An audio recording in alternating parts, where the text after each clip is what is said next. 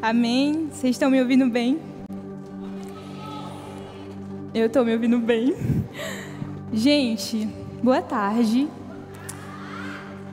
É, eu estou muito feliz de estar aqui.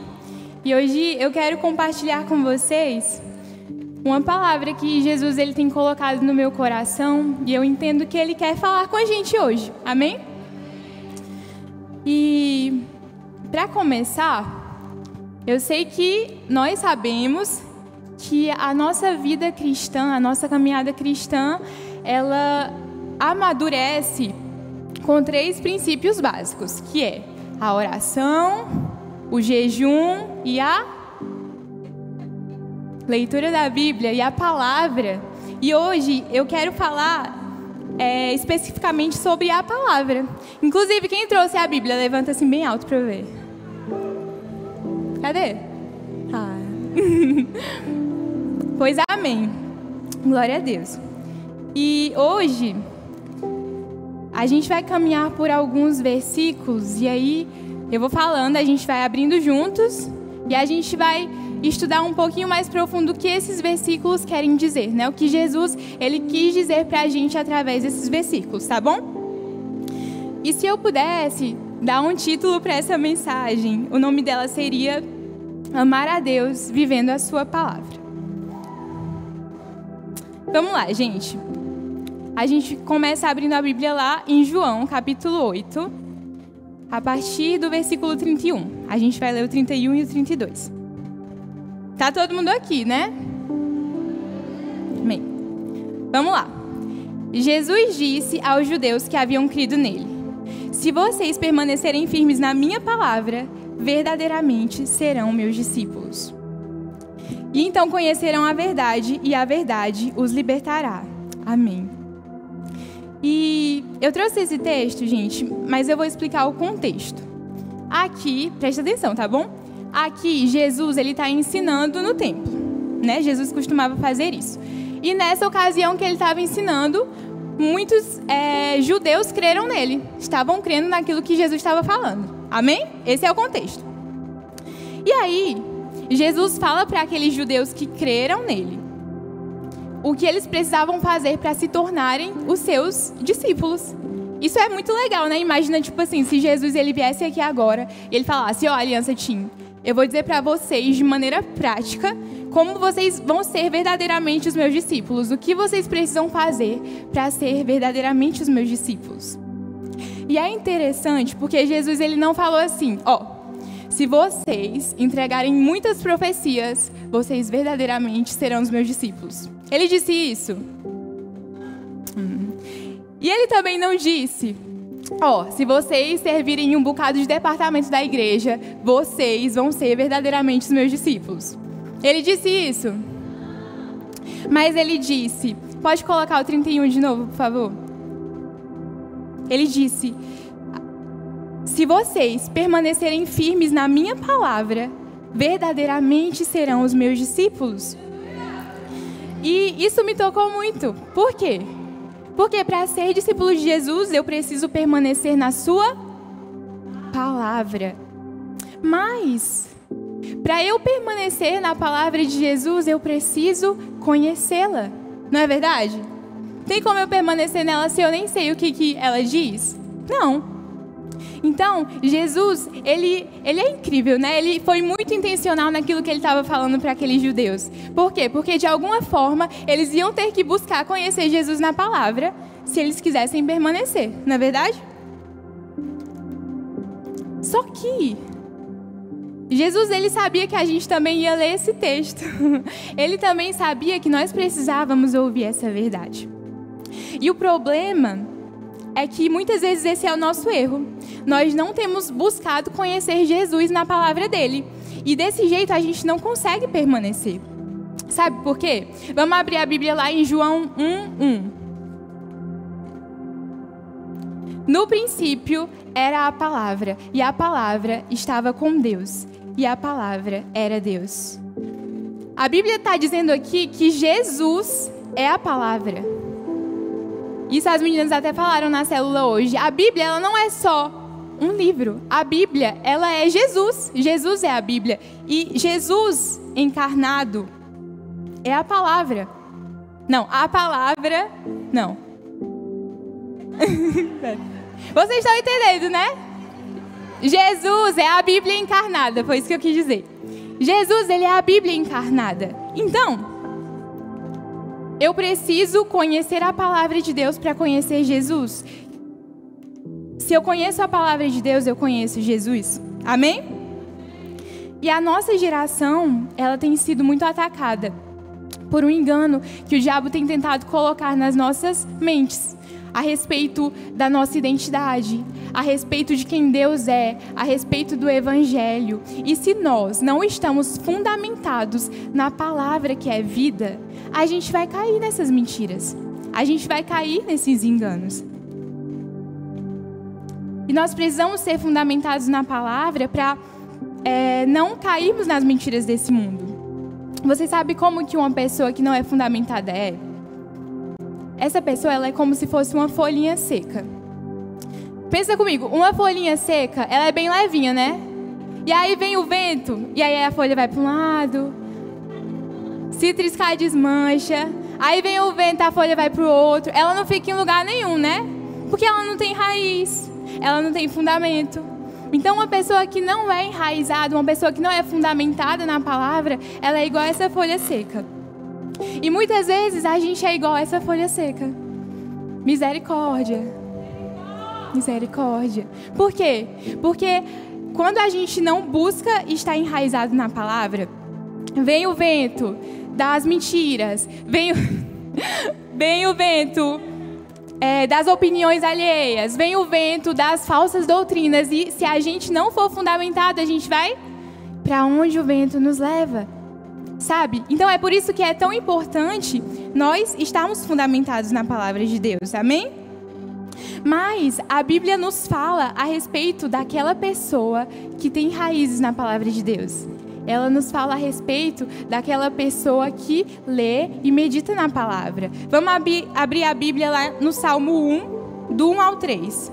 Salmo 1, do 1 ao 3. Quero ver vocês abrirem na Bíblia, gente. Eu vou ler. Bem-aventurado aquele que não anda segundo o conselho dos ímpios, não se detém no caminho dos pecadores, nem se assenta na companhia dos zombadores. Ao contrário, a sua satisfação está na lei do Senhor e na sua lei medita dia e noite. É como árvore plantada junto ao ribeiros, a ribeiros, dá fruto no tempo certo. As suas folhas não murcham, tudo o que faz prospera. Amém?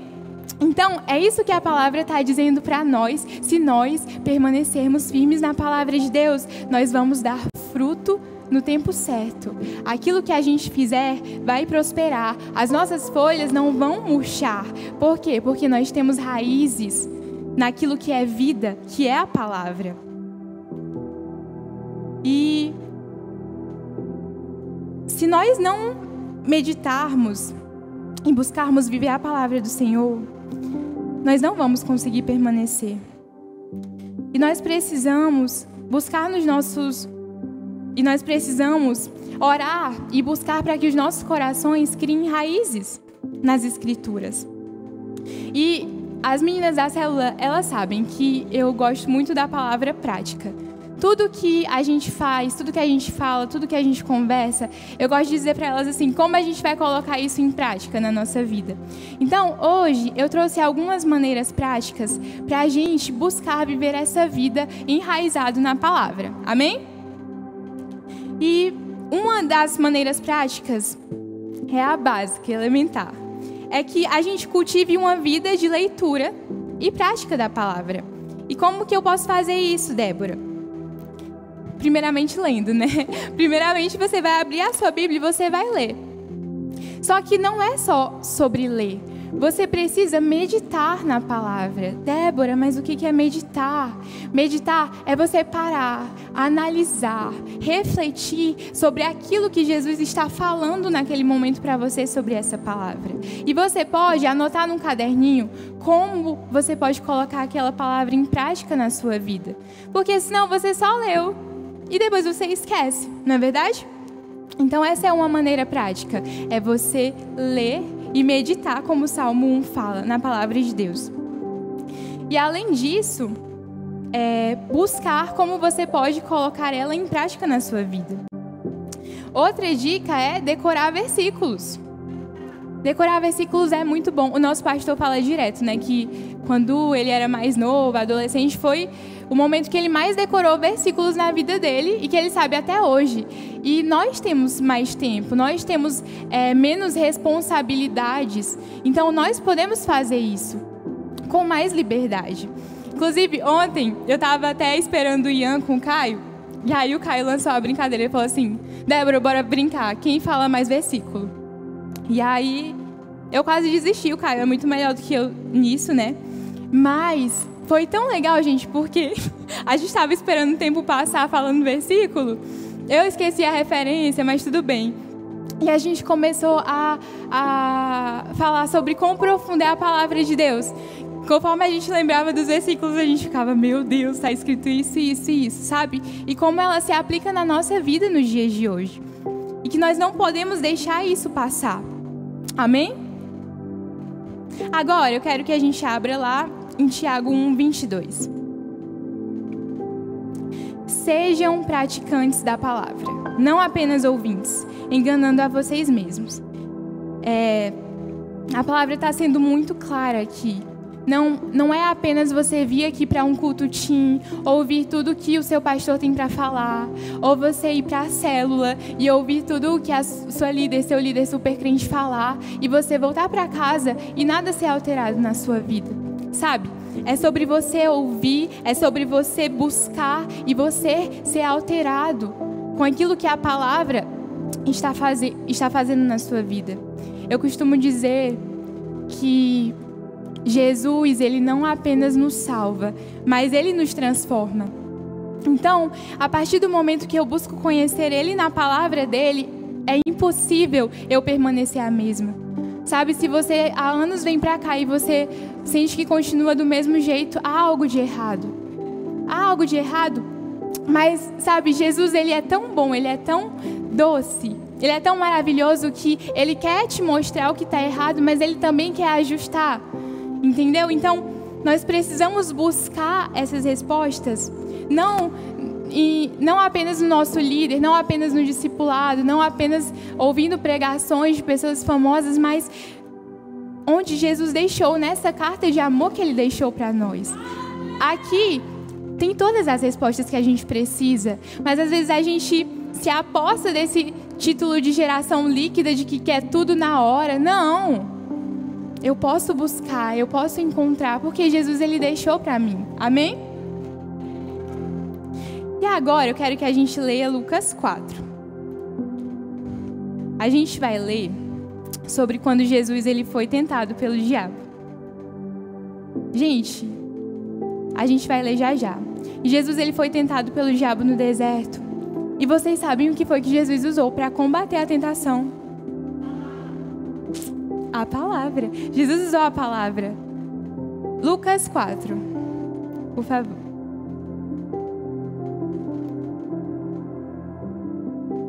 Vamos lá? Jesus, cheio do Espírito Santo, voltou do Jordão e foi levado pelo Espírito ao deserto. Onde foi tentado pelo diabo durante 40 dias, meu Deus. Não comeu nada durante esses dias, ao fim deles teve fome. O diabo lhe disse: se és filho de Deus, ordena a esta pedra que se, que se transforme em pão. Jesus respondeu: Está escrito: Nem só de pão viverá o homem.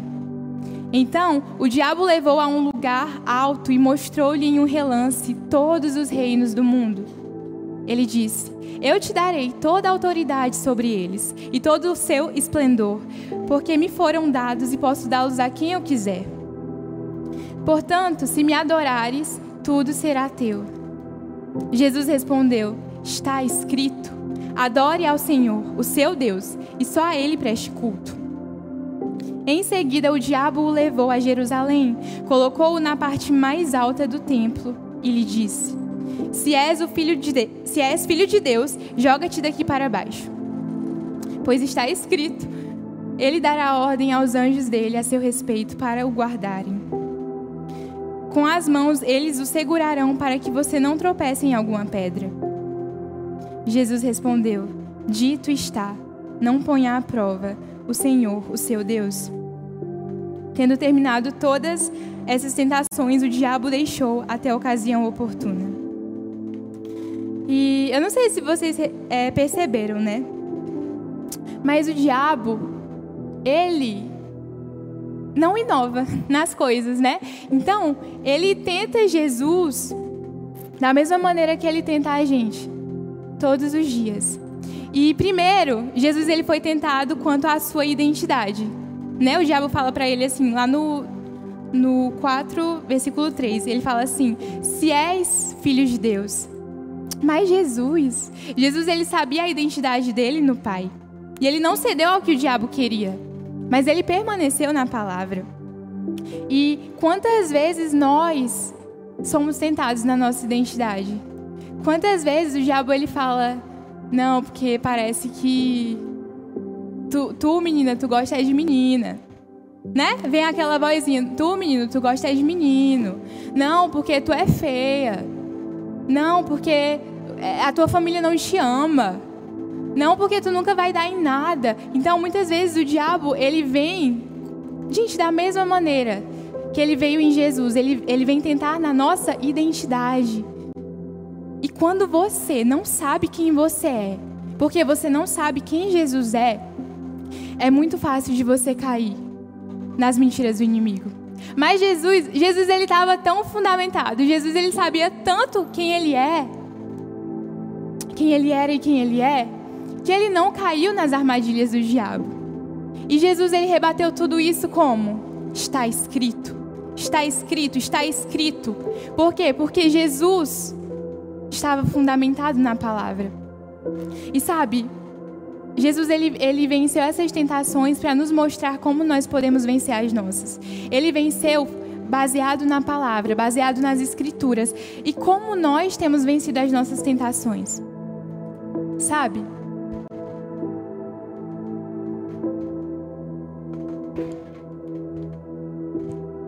Eu sei que alguns podem chegar no líder e falar assim: ah, mas para mim tem sido muito difícil vencer as tentações, está sendo muito forte, ou está sendo muito difícil vencer o pecado, Débora, é porque tu não sabe o que eu passo. Mas vamos, vamos ver o que, que a palavra diz a respeito disso? Salmo 119. Como pode o jovem manter puro o seu caminho, vivendo de acordo com a tua palavra? Eu te busco de todo o coração não permitas que eu me desvie dos teus mandamentos. Guardei no coração a tua palavra para não pecar contra ti. Bendito seja, Senhor, ensina-me os teus estatutos.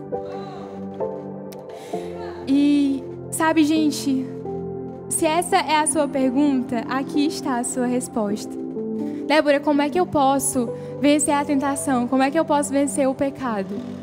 Estando firme na palavra do Senhor é vivendo de acordo com a palavra do Senhor. Não tem atalhos, não tem outro jeito. Sabe? Se você apenas imita alguém, você não está sendo transformado, você está sendo apenas uma cópia. Sabe, se você, ah, eu faço isso, eu oro, eu faço meu devocional porque eu, eu não sei, todo mundo faz e tudo mais, mas eu, eu me sinto perdida. Você não está sendo transformado desse jeito. Sabe, mas se se você realmente quer de coração, você pode buscar Jesus na palavra e ele vai nos ensinar. Amém?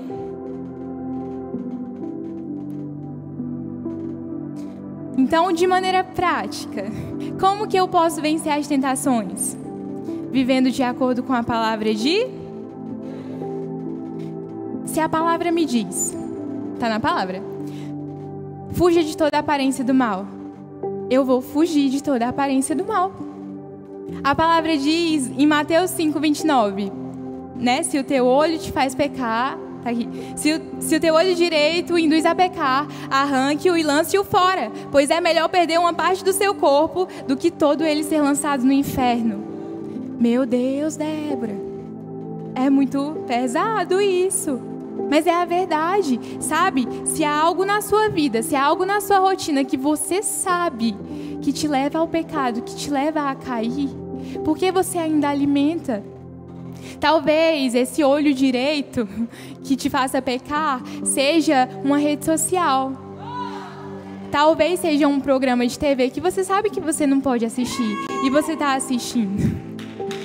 Talvez seja uma conversa que você sabe que não poderia estar tendo, mas você alimenta todos os dias, você alimenta, você fica pelas beiradas e é muito mais fácil de você cair no abismo. E o que eu quero trazer para vocês é que tudo isso é uma verdade muito preciosa, né? E nós encontramos na palavra, sabe? Às vezes a gente tem medo de aconselhar um amigo. Ah, porque eu sou novo na fé, porque eu só tenho 12 anos de crente, eu não sei se eu consigo liderar. Mas, gente, a gente não vai fazer nada por conta da nossa opinião, por conta daquilo que a gente acha, porque a gente é muito crente. A gente vai conduzir pessoas baseados nas Escrituras. Então, se você conhece a Bíblia, se você lê a Bíblia, medita, você é um amigo de Deus, você pode sim aconselhar alguém, você pode sim liderar. Por quê? Porque você não vive sua vida baseado nas suas vontades ou naquilo que você pensa ou sente, mas no que está escrito. Assim como Jesus ele venceu o mundo e venceu o diabo naquele momento, né? Dizendo está escrito, é assim que nós vamos vencer as nossas batalhas diárias do dia a dia. Sabe? Aí o diabo vem e fala: "Não, bora pecar ali, tu tá sozinho" tem ninguém olhando. Mas aí você leu na palavra que o seu corpo ele é templo do Espírito.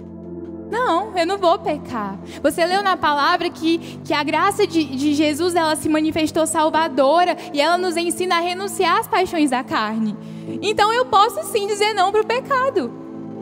Sabe, mesmo que eu esteja sozinho, mesmo que as circunstâncias me deixem à vontade para fazer isso, o que é que a palavra diz sobre isso? sabe? Então, eu creio que é tempo da gente aprender com a palavra. Não somente ouvir aquilo que o Senhor tem falado para os outros. E o que é muito bom, é claro, a gente aprende junto, mas o que, que Jesus ele tem para falar de fresco, para derramar de fresco sobre a minha vida? É, às vezes a gente está igual o povo de Israel, quando quando tinha Moisés, né? Que o povo não queria falar com Deus, não queria ver Deus, tinha medo de Deus. E aí o povo do Moisés ia toda vez sozinho, porque o povo, porque o povo ele não se relacionava com Deus. Mas Deus ele queria se relacionar com o povo. E às vezes a gente coloca é, um intermediador. Não, porque eu só ouço Deus quando o pastor Nakayama prega aqui. Eu só ouço Deus quando eu vou para a célula, quando a minha líder fala alguma coisa. Não. Gente, deixa eu dizer uma coisa para vocês. Toda pessoa que lê a sua Bíblia ouve Deus. Ponto. Toda pessoa que todas as vezes que você abre a sua Bíblia, que você lê a sua Bíblia, você está ouvindo Deus. Por quê? Porque é a palavra dele. Entende? Então, não tem porquê. Às vezes a gente fica, ai meu Deus, Deus não está falando comigo. Meu Deus, eu estou pouco crente porque eu não estou mais me arrepiando do culto. Não! Ei, o que, o que está escrito? Sabe? Nós precisamos entender que aqui é Jesus Cristo, aqui é a palavra de Deus revelada. Então, a partir do momento que eu abro a minha Bíblia, que eu leio ela, Deus ele está falando comigo. E se você não souber disso, se você não for fundamentado aqui, os seus sentimentos, lembra do vento? Os seus sentimentos vêm, te levam para um lado. Os seus pensamentos vêm, te levam para o outro. E você não cria raiz em lugar nenhum. Por que, que a gente vê tantas pessoas se desviando? Por que, que a gente vê tantas pessoas dizendo eu não me sinto bem? Não é o meu lugar. Porque essas pessoas talvez conhecerão a gente, mas elas não conheceram Jesus. E como é que eu conheço Jesus? É através da palavra. Jesus ele se revela de várias formas, é claro, através de pessoas, né? Ele, ele se revela a nós através de canções, de profecia, sim. Mas qual é a maneira mais nítida? É na palavra. Então, por que, que a gente tem negligenciado tanto essa disciplina tão preciosa? Outro ponto, eu gosto muito, é que a palavra ela nos alimenta e nos nutre. É, a gente lendo a Bíblia a gente vê muitas vezes a palavra ela sendo comparada com um alimento. É, nesse que a gente leu agora há pouco, né? Em Lucas 4, que Jesus fala que está escrito: nem só de pão viverá o homem, mas toda palavra que procede da boca de Deus. Quando Paulo ele está falando aos Coríntios assim, que ele está comparando os ensinamentos de Deus com leite e com comida sólida. Ele está comparando a palavra alimento, não é verdade? O que, que isso significa, Débora? Significa que a palavra ela é alimento e ela nos nutre. Então, assim como é difícil eu passar, eu, eu ficar em pé, depois de passar vários dias sem comer, sem me alimentar, não é difícil? Eu não aguento. Também é difícil você ficar em pé, você permanecer, se você está muitos dias sem ler a Bíblia, sem buscar o Senhor. Ai, meu Deus, é que eu, eu não, não tô, eu tô fraco na fé. Não estou crendo muito, eu estou meio assim. Aí você já pergunta, e o devocional? e a Bíblia, tá lendo? Por quê? Porque, gente, a palavra de Deus ela é o nosso alimento. É ela que nos nutre. E às vezes a gente está tão. A gente já ouviu muito isso, né? Que a gente está tão cheio de besteira. A gente está tão cheio de besteira que não, não, não, nos dá nenhum nutriente, só sacia a nossa fome por um momento, depois passa. Que a gente não consegue permanecer. A gente não consegue ficar de, de pé. Sabe, todas essas conferências são muito boas. A gente aprende muito. Mas o que nos sustenta é o que a gente faz depois delas. Sabe, a gente está buscando, a gente está buscando manter a chama acesa, a gente está colocando lenha todo dia, a gente está é, abastecendo a nossa lanterna, a nossa lamparina com óleo, ou a gente está só esperando pelos outros. Então, eu sei que nem todos os dias a gente acorda. Ai meu Deus, vou ler a Bíblia toda hoje, estou feliz. Nem todos os dias a gente acorda assim. Meu Deus, hoje eu vou ler Levítico. Nem todos os dias é desse jeito, né? Eu sei, gente, tem dias que a gente simplesmente não não tá com vontade de ler a Bíblia, simplesmente não tá com vontade de fazer nada. Mas o que é que a gente faz nesses dias que a palavra não parece ser tão apetitosa, Thaisa? O que a gente faz? Come, senão morre. A gente continua lendo. Por quê? Porque é ela que nos alimenta, é ela que nos nutre. Mesmo que não seja aquilo que a minha carne quer. Sabe como? Vou dar um exemplo para vocês. Quem lembra o que jantou há três semanas atrás? Levanta a mão. Jantou o quê? Pizza? Não vale, hoje é sábado, peraí. Na sexta. o que eu quero dizer, gente, é que é difícil lembrar, não é o que a gente comeu há três semanas atrás. Eu li isso no livro.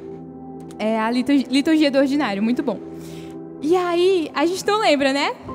Mas aquela refeição te nutriu de alguma forma, né? Você se alimentou e você foi saciado. Então, da mesma forma é com a palavra. Sabe, mesmo que eu não me lembre aquilo que eu li três semanas atrás, naquele dia, aquilo foi o meu alimento, aquilo me saciou, aquilo me nutriu e eu não posso viver sem. Mas e se eu não busco? Sabe, e se eu não busco, se eu tenho me alimentado apenas de besteiras? Gente, eu não tenho nada contra você assistir ministração de outros pastores e tudo mais, isso é muito bom. Eu gosto e eu cresço muito. Mas às vezes a gente tem substituído o nosso tempo a sós com Deus por, por esse tipo de conteúdo, sabe? E talvez isso possa até substituir para você o seu, o seu devocional, o seu tempo a sós com Deus, mas para Deus isso nunca vai substituir o seu coração derramado diante dele. Sabe? Deus ele não quer saber o quanto você é, é, é, espiritual porque tem aprendido sobre tal assunto teológico. Ele ele quer saber se o seu coração realmente está nele. E se o seu coração está nele, você quer conhecer Jesus.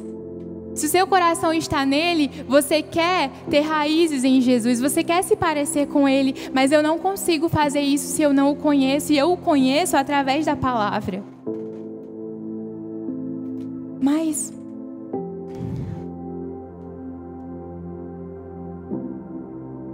nem sempre é isso que a nossa carne quer. Quando ela quer, né? Isso. Mas nós precisamos entender que é isso que nos gera vida. Esses dias a Ana Luísa mandou lá no grupo da rede, né? e eu já estava pensando sobre isso, né? Ela mandou lá no grupo da rede falando sobre isso, sobre nós não negligenciarmos esse lugar de leitura e meditação da palavra, porque é isso que nos gera vida. E eu vi que era só confirmação do que Jesus ele queria nos falar hoje. E sabe, nós quantas vezes nós temos negligenciado aquilo que nos gera vida? Sabe? É por isso que muitas pessoas elas morrem espiritualmente falando. Porque elas não é, buscam se aprofundar naquilo que Jesus foi muito claro que nós precisamos.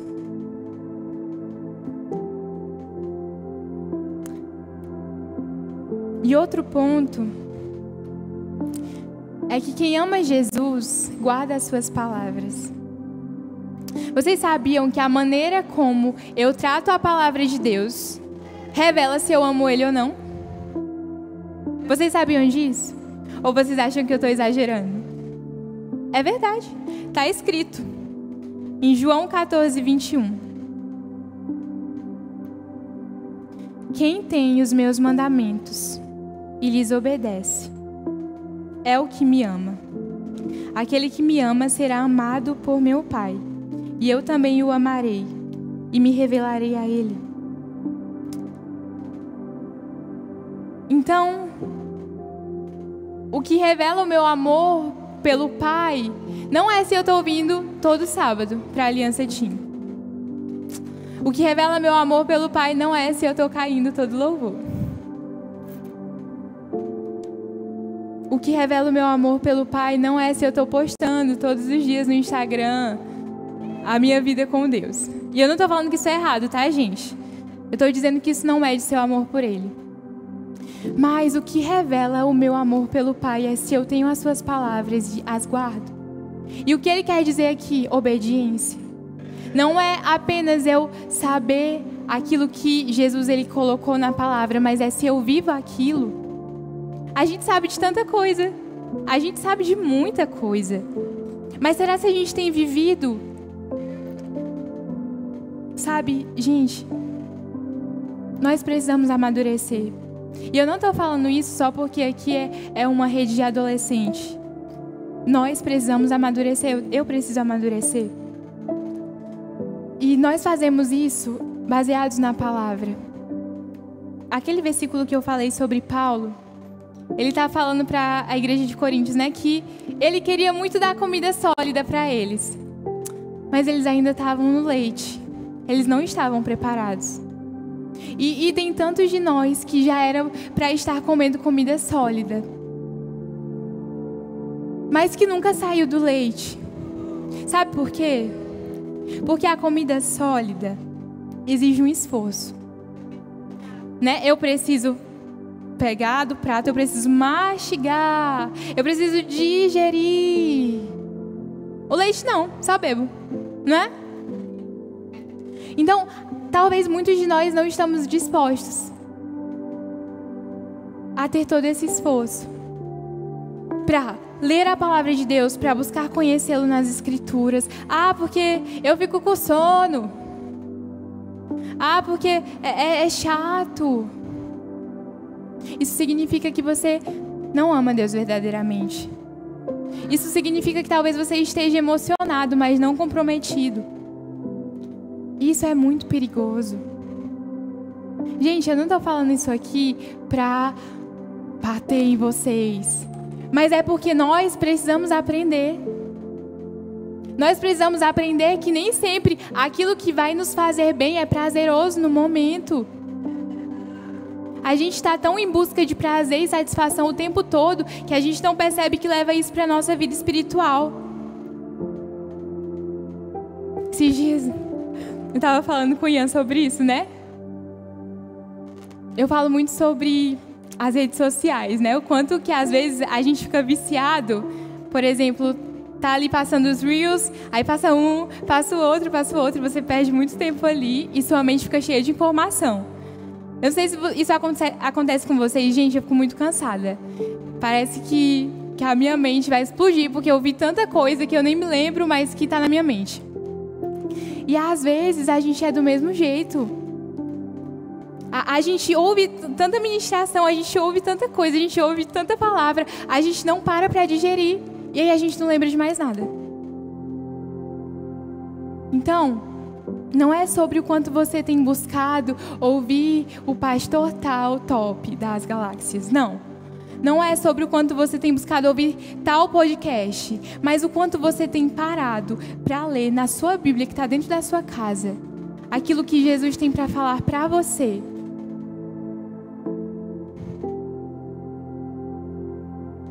Nem sempre é o mais fácil, nem sempre é o mais cômodo, mas é o único caminho.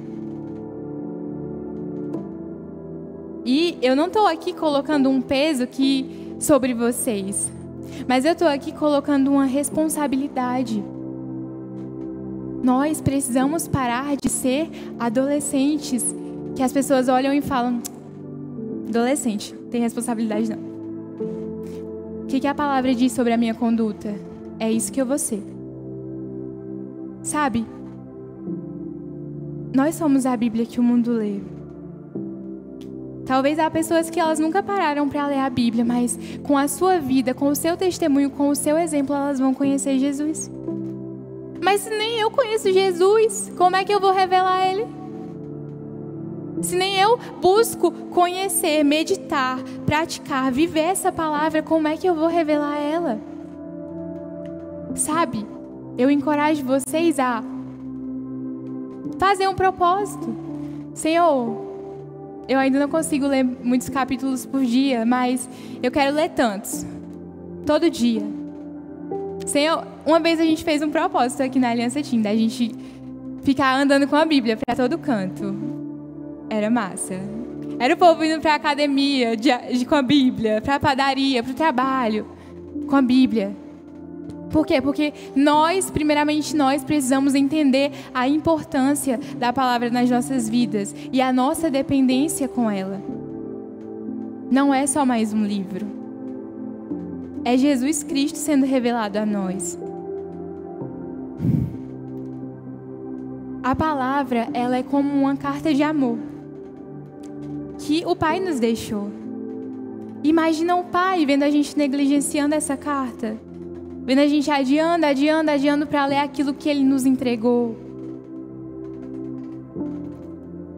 Então, se o que revela o meu amor por Jesus é se eu tenho os mandamentos dele e se eu guardo os mandamentos dele,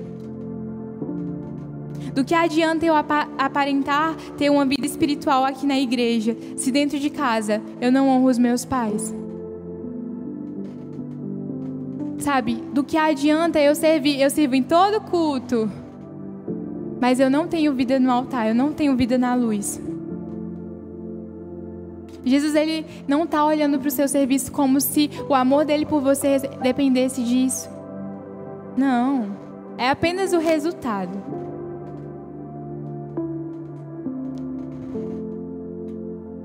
Uma vez eu ouvi que a linguagem de amor de Jesus é a obediência por conta desse versículo, né?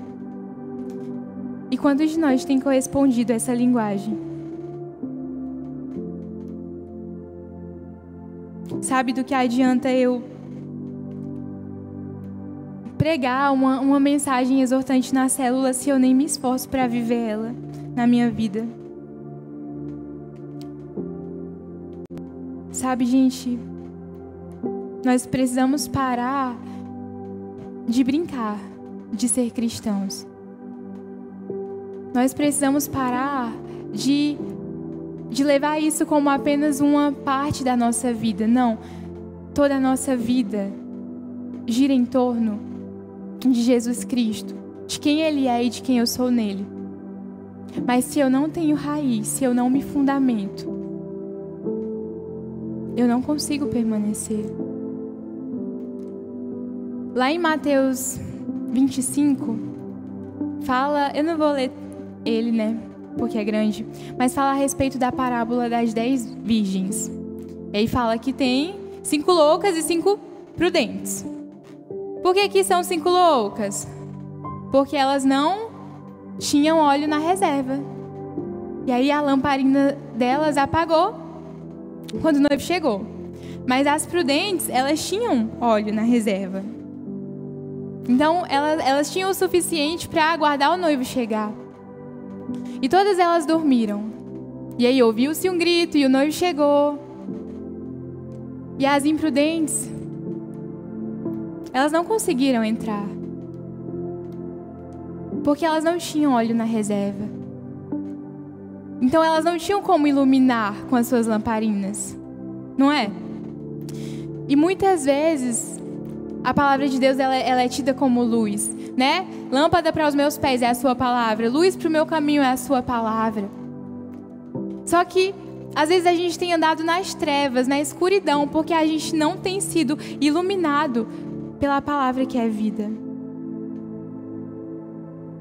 E nós corremos o risco de acabar como essas virgens imprudentes. Porque o noivo tardou na parábola, e quando ele chegou, elas não estavam preparadas. E elas tentaram comprar óleo das virgens prudentes. E algo que nós não podemos comprar de outra pessoa é a intimidade. Não é porque o meu líder é super crente que eu vou ser automaticamente super crente. Não é porque os meus pais, eles buscam muito a Deus que eu automaticamente já está no sangue. Não. Isso parte de um posicionamento.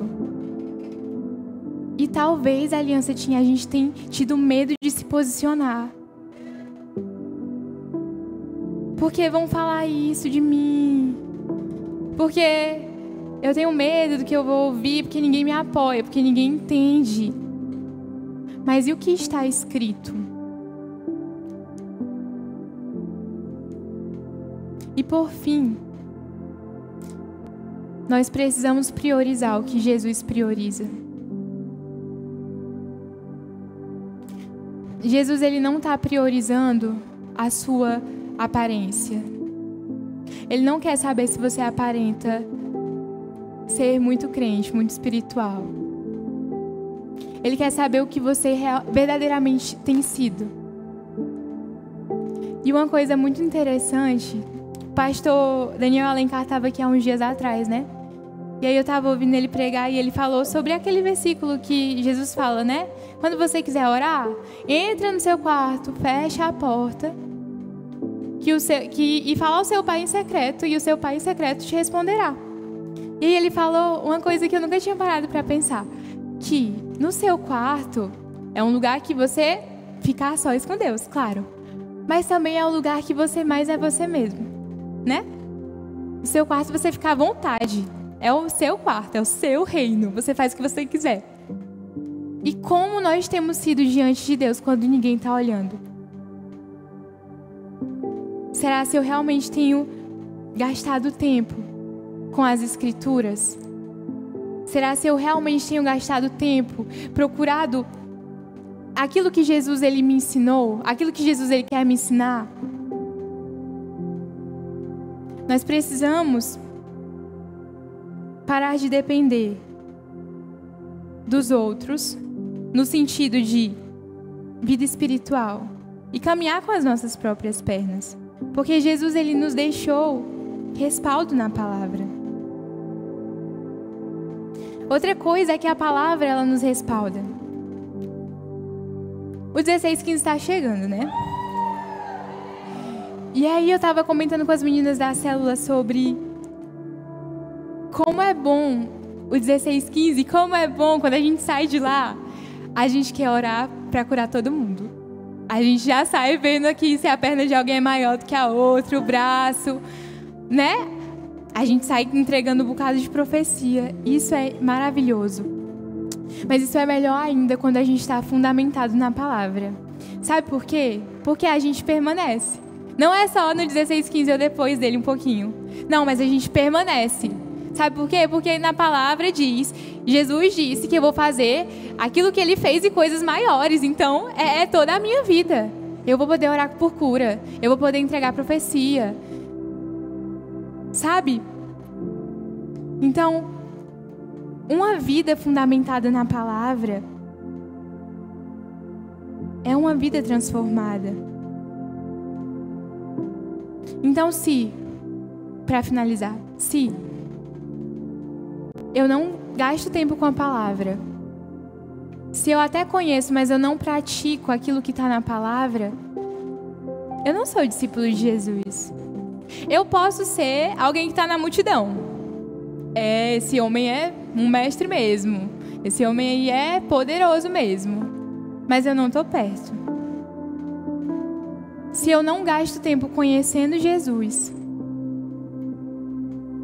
eu não sou amigo dele. Que tipo de relacionamento é esse que você chega e você fala, fala, fala, fala, fala, fala sobre você no seu devocional? Falou? Acabou. Um louvorzinho acabou, vou embora. Tóxico. que tipo de relacionamento é esse quando você não para para ouvir o que ele tem para dizer? E ele está tão disposto a falar conosco através da palavra? Só que nós precisamos corresponder a isso. E sabe, eu queria que nesse momento a gente orasse. Vamos orar?